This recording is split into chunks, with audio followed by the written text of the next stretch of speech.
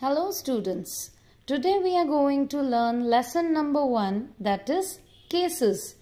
In this lesson we are going to learn nominative case, accusative case, dative case and possessive case.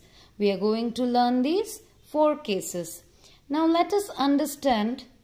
Read the sentence and answer the following questions. Nimisha brought a book of hers for Sohel. So, who brought the book for Sohel? Nimisha. What did Nimisha bring for Sohel? A book. For whom did Nimisha bring her books? For Sohel. Whose book did Nimisha bring for Sohel? Her books. So these four questions represent these four cases. How? We will understand. Firstly, let us see what is a case.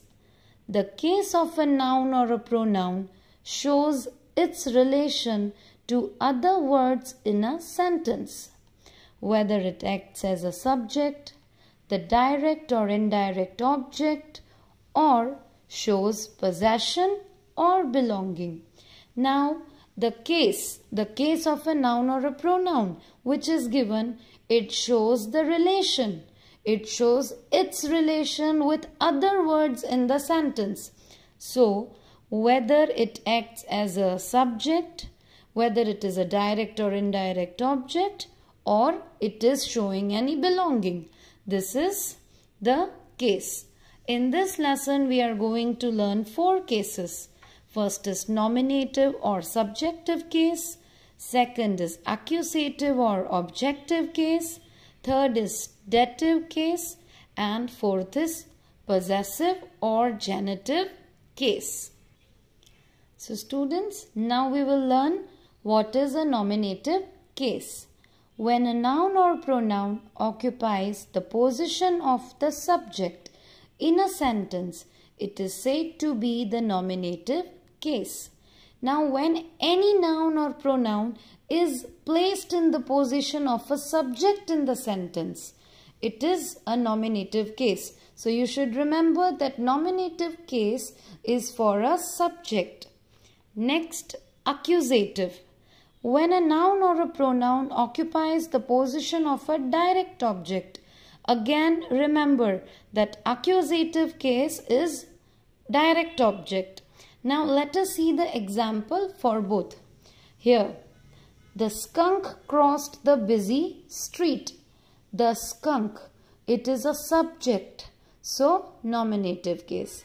The flight has been delayed. So, the flight, it is a subject. So, it is a nominative case. Again, accusative case which represents the direct object. We cooked the soup together.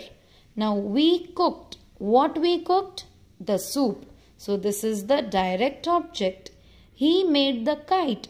What he made? Kites. So this is the direct object. So understood what is a nominative case and accusative case? Now we will see the dative case. When a noun or a pronoun occupies the position of the indirect object in a sentence, it is said to be the dative case. Now, we have seen in nominative and accusative case that it is a subject and a direct object. Here we have indirect object. That means dative case is indirect object.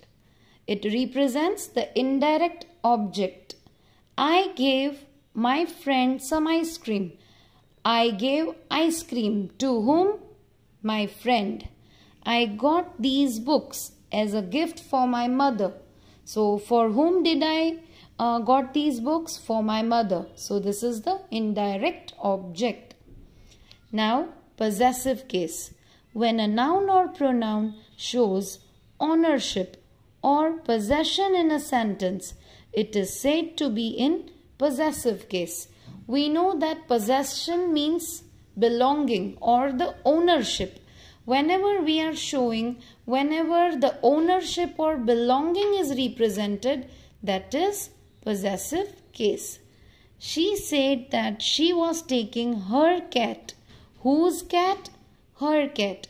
So, we are showing here the belonging of cat.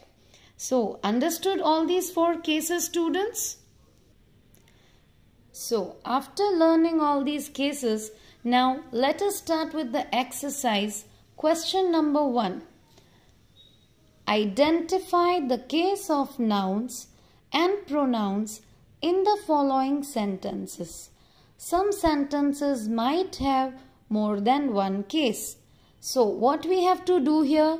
We have to identify the case of a noun or pronouns given in these sentences. Now after identifying them, we have to write their case given in the blank. I have already done for you. Now see, number one, Vani usually brings me my newspaper. Now here, Vani is a subject. Then brings me. It is a object. And my newspaper is also an object. So, now Vani is a nominative case. Me is a dative case. And my is a possessive case as it is showing possession of newspaper. Number B. That is Grishma's laptop. Whose laptop? Grishma's laptop. So here possession of laptop is shown. So possessive case. C. I usually have my food in the cafeteria. I, the pronoun, it is used as a subject here. So, when we are representing a subject, it is a nominative case. My food. Whose food? My. So, the belonging of food. So, possessive case. The cat is mine, but the dog is theirs. Here we are showing the ownership of cat and the dog. So, mine and their. Both these words are the possessive case. So students, in the same way, you have to do E to H in homework.